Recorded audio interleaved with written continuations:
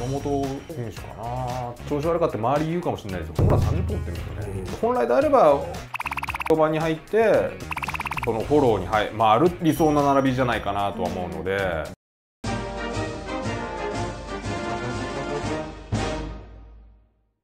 さあそれではジャイアンツについてお伺いしたいんですけれども、はい、まあ、今シーズンは5年ぶりの B クラス打率、防御率リーグワーストだったんですけれどもジャイアンツ OB の清水さんとしてはどのように感じてますか？そうですね。やっぱり厳しいシーズンだったと思いますよね。やっぱりあのやっぱ勝たなきゃいけないですし、まあ、そういった中でなかなかねこう安定して戦えなかったかなと。あのやっぱりピッチャーも野手もちょっときつかったかなと思いますよね、先発もリリーフも野手もまあ、年間通して、えー、安定してメンバー揃えられなかったところもあったでしょうし、まあすごい苦しいシーズンだったなと思いますね。やっぱり一つレベル全体が上がらないとちょっと厳しいよね。で出てこないとあれですよね、うん、先発だとやっぱり今戸郷投手、うん、今年に関してはまあ戸郷投手が引っ張りましたけどそれ以外に年間通して続いたピッチャーもいないですし、うん、外国人もなかなか機能しなかったですし、リリーフに関しては去年まで機能してた3枚が、ま、3枚丸々いなかったですから、大勢君が出てきて、でちょっと変わりましたけどただそこにつなぐまでも苦しかったですし、でまあ、野手もなかなかいろいろこう状態が悪かったり故障があったりとかで、まあちょっといろいろとこう新しいものが加わっていくことが来年は大事なのかなと思いますけどね。残塁も多かったですよね。だからホームラン出てるんだけどね、ね。なかなかもう一本っていうところで苦しんだところもあったと思うんで、うん、まあだからいろんなね、あの打つ方守る方もいろいろこう変わっていかないといけないのかなと思いますけどね、うん。はい、やっぱあのヤクルトにね挑んでいこうと思ったら、うん、総合力っていうか強いよねヤクルト。あのバランスいいですよね、で打線もやっぱり村上君がすごくクローズアップされるんですけどその前後がすすごくまた持ち味を発揮したりだとか、打つだけじゃなくて点取るパターンも持ってるんで、今年の日本シリーズなんか見てたら両チーム強いなと思って、ね、天球眼とかも。この速い軍団あのあの速い球投げるあのあのボールを見極めたりなんだなんで今のワンバン踏んないのとかこの両チーム？すごいなと思って見てて。あまあすごいな。僅差の試合ばっかりだったですもんね、うん、だからまああのヤクルトを抑えるだけのピッチャーもすごいですね。ね、あれの打線をキリキリまでさせるわけですから、やっぱりそうすげえなと思いながら見てましたけどね、ああいうところで勝たないとねまあまあそうですね、ねレベルちょっと上げてこないとどのチームもね。ちょっと強いですよね、両チームが、はい、楽しかったもう日本シリーズ見てて、関心関心で。ほぼほぼああいうゲーム展開になるってなかなかないですもんね、全部いい試合でしたもんね、まあ、ジャイアンツは2023年に向けて新体制が組まれていてコーチ陣も発表されましたけれどもガラッと変わりましたね、はい、安倍晋之助さんがヘッド兼バッテリーコーチ。河合正弘さん総合コーチ。でバッティングコーチに大久保さんと亀井さん。で本木さんが作戦兼内野守備コーチ。鈴木貴弘さんが外野守備兼走塁コーチ。でピッチャーのと、えー、チーフコーチに阿波野さん。そして山口哲也さん。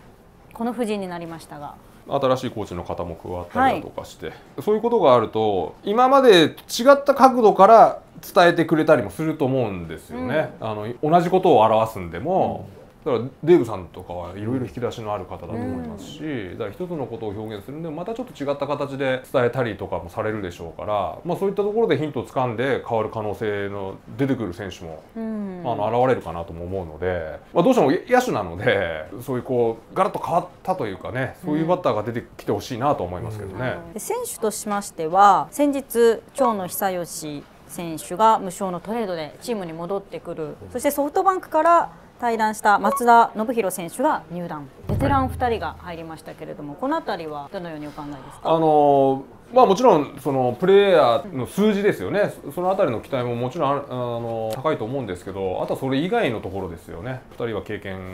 ある選手ですし、えー、まあ長野選手はもともとジャイアンツでプレーしてて、えーまあ、ジャイアンツのことを分かってる、うん、まあ、そういうベテランの選手がまた戻ってきてっていうのと、あと松田選手はあれだけ日本一を重ねてきてるチームの主力としてプレーしてた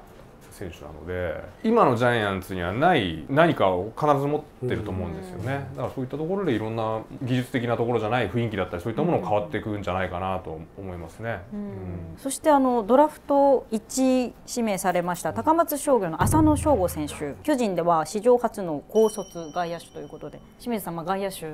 同じですけれども。史上初？初なんだ。高卒の外野手。いやいやでも松井秀喜。あそう内野登録だ、うんナイスサード。ああ、そうそうですね。そうですね。まあ高校通算68発、まあ怪物スラッガーと言われている浅野選手ですけれども。まあでも、はい、ね早く出てきてくれるのはあれでしょうけど、ちょっと時間かけていいった方がいいというか行きますよね。うんと思うんだけど。でも1年目から高卒1年目から出たら超スーパースターだよね。まあだから出れるのかどうかも俺もよくわかんないけど。技術もそうですけど体力もないと出れないですよね、うん、あんだけ毎日試合がある環境に今まで置かれてないんでうんね、高校野球もそんな長くやらないですもんねその真剣勝負の期間を、うんね、プロ野球半年やるんで、そこを乗り切る体力とかも必要になってくるんで技術もそうですけどその部分も必要なんでそれを最初から持ち合わせたらそれはすごいことなんですけど、まあでもそそこはちょっとこと難しいところかなと思いますけどね。この間でもあのニュニュースででやってたんだけど雰囲気が26歳ぐらいの。なんか落ち着いた感じの、ね、大人じゃないのっていう。で体つきもなんかグッと詰まってるようなね、あれですよね。強そうだけどね。まあでもどうですかね。で高校から大学行った時も、うん、大学生のピッチャーちょっと、うん、えっと思うじゃないですか、すごいなと思うじゃないですか、そのさらにもうちょっとね、上のレベルになるんで、清水さんが来シーズンここの選手がキーになるっていう挙げるとするとどなたですか？キーキー？はい。岡本選手かなってキーでありまた楽しみではありますよね、うん、やっぱり今年ものすごい苦しんだと思うんですけど、うん、でもね調子悪かった調子悪かった周り言うかもしれないですけどホームラン30本打ってるんですよね、うん、だか